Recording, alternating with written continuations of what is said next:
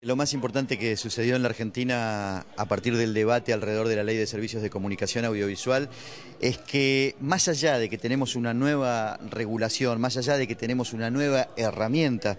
para regular la radio y la televisión en la República Argentina, se sacó el velo de una temática que no se discutía, no se interpelaba el rol de los medios eh, en esta sociedad. Hoy hay una sociedad que ha aprendido a leer entre líneas, hay una sociedad que comienza a desconfiar de los mensajes eh, que recibe, empieza a entender que más información no significa mejor información y se ha dado cuenta que hay intereses muy fuertes alrededor de lo que se dice y de lo que se cuenta. Eh, se entendió que hay grupos como Clarín, que son grupos monopólicos, eh, que tienen intereses económicos que muchas veces se le ocultan a los lectores, a los oyentes o a los televidentes. Me parece que este es el paso más importante que ha dejado eh, esa ley, que está vigente, pero que todavía eh, tiene mucho por transitar para que en la República Argentina haya en serio un mapa de medios mucho más plural, mucho más democrático. No hemos vivido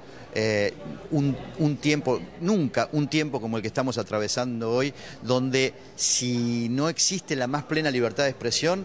es porque todavía existen los monopolios, pero los gobiernos, el Estado actual eh, han, viabilizado, han posibilitado que los argentinos puedan expresarse en absoluta libertad. Siempre nos ponemos muy contentos cada vez que en algún lugar de nuestra patria podemos presentar esta última obra que hemos hecho, que se llama Gana la Política. Es un libro basado en los editoriales que hemos mm, presentado en el programa de radio que conduzco en la radio AM750 de la capital federal todos los días sábados y que además